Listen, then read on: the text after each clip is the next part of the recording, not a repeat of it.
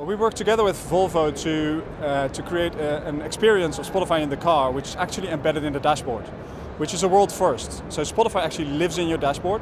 It's a beautiful uh, integration where you can actually use the touchscreen to, to access all the music in the world, or you can use the, the, the buttons on your steering wheel, or any of the buttons that are in your center console. And you can actually also use your voice.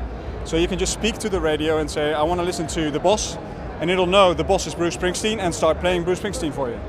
So it's really hands-off access to 20 million tracks, our full catalog, completely hands-off with your eyes on the road and your hands on the steering wheel, which is exactly what we want to achieve.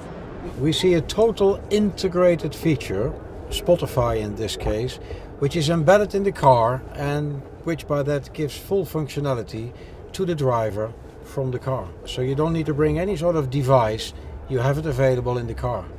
Approximately 70% of all Americans and Europeans listen to music in the car. So it's a really important place for us as a streaming music service to be.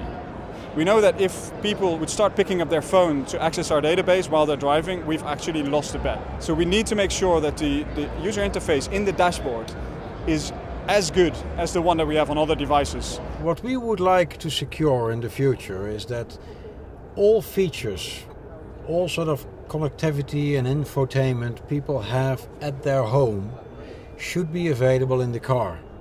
So it goes from music, TV programs, traffic information, all these sort of features is, is available and Spotify is, uh, is for us a major step. These are just the first steps and we, of course we're picking the, the, the right partners that share our vision of a great music experience in the car, but we're only just getting started.